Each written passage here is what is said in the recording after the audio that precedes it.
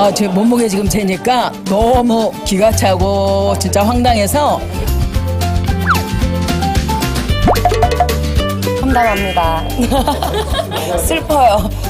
어, 제가 쌍둥이를 1년 전에 낳았는데 그 이후로도 배가 들어가지 않아서 우리 아들이 엄마가 아기가 또 있냐고 그러더라고요.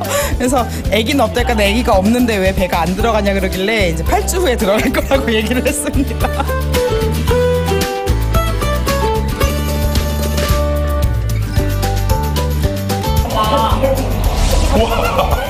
근데 사람들이 살 빠지는 것보다 찌는 게 보기가 좋다는 얘기를 듣고 그냥 무작정 계속 먹고 찌우다 보니까 건강이 많이 안 좋아져가지고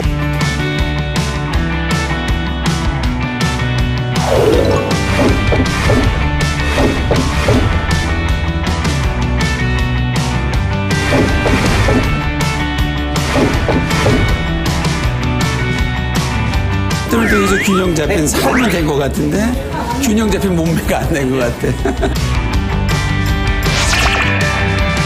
그동안 제가 40년을 기다려왔습니다.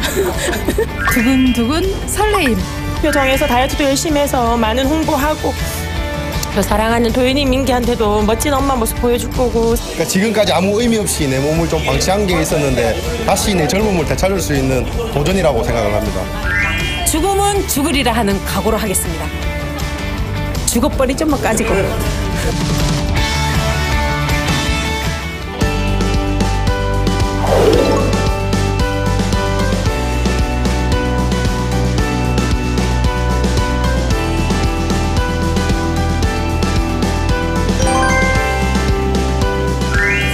수영복을 입고 어, 놀러 가고 싶어요. 제가 다 수영복 수영장을 안 간 지 정말 10여 년이 지나가지고 한 번도 간 적이 없었거든요. 어, 날씬하고 건강한 모습으로 여러분 앞에 보여드리고 싶습니다.